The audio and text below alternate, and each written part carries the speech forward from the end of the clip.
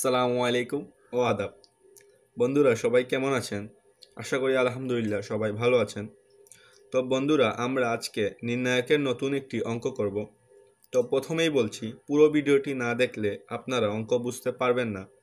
তাই দয়া করে আপনারা পুরো ভিডিওটি দেখবেন। তো এখন আমরা অঙ্কে চলে যাচ্ছি। তো আমাদের আজকের অঙ্কটি হলো নির্ণায়কের মান নির্ণয়। তো নির্ণায়কের মান নির্ণয় অঙ্কগুলো খুবই সহজ। আপনারা অনেকেই ভাবতে পারেন যে এগুলি খুবই কঠিন, তো আসলে তা নয়। অঙ্কগুলি ভালো করে ফলো করলে আপনারা অঙ্কগুলো পারবেন।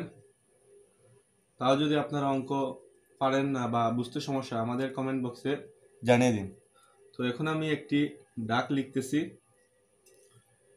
Minus A square A B AC AB minus B square BC AC BC minus C square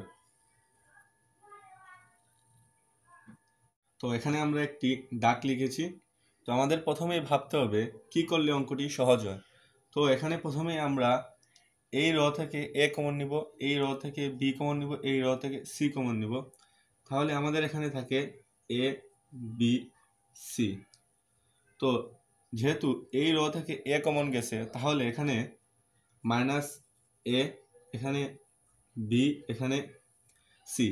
এই র থেকে বি কমন গিয়েছে, তো এখানে থাকবে এ, এখানে থাকবে মাইনাস বি, এখানে থাকবে সি।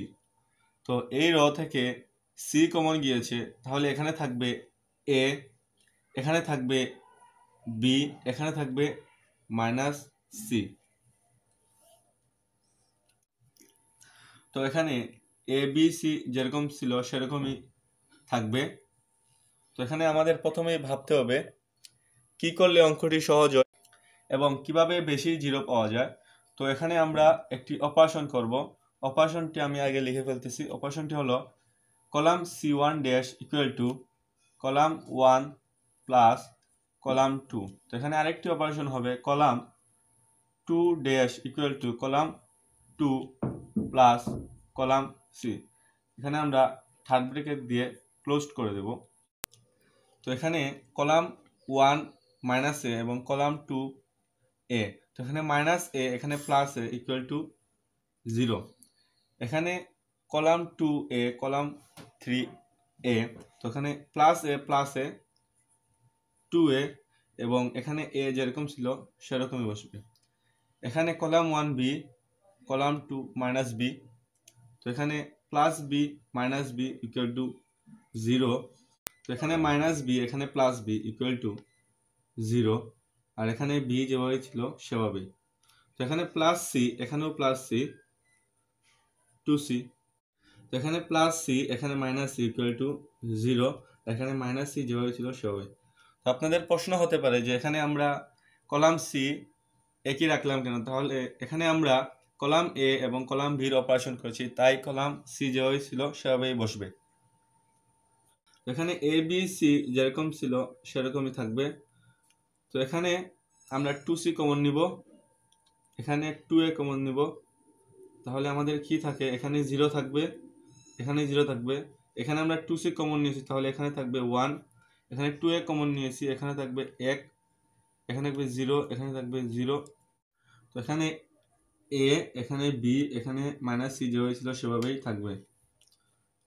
তো এখানে two into two equal to four এখানে দুইটা এ স্কোয়ার এখানে বি এখানে দুইটা সি সি স্কোয়ার তো এখানে আমরা গুণ করব। তো প্রথমেই আমরা জিরো কমন নিব। তাহলে জিরোর র এবং জিরোর কলাম বন্ধ থাকলে হবে zero minus C equal to zero minus সূত্রের minus zero minus B equal to zero তো এখানে মাইনাস ওয়ান কমন যাবে। তাহলে এই ওয়ানের র এবং এই ওয়ানের কলাম বন্ধ থাকবে। তাহলে zero into minus C equal to zero R one into B equal to minus B তো এখানে প্লাস এ কমন যাবে। তাহলে এখানে থাক, এর র এবং এর কলাম বলতে হবে, তাহলে zero into zero equal to zero minus one into zero equal to zero তো এখানে four square B C square যেভাবে ছিল সেভাবেই, তাহলে এখানে জিরো থাকবে।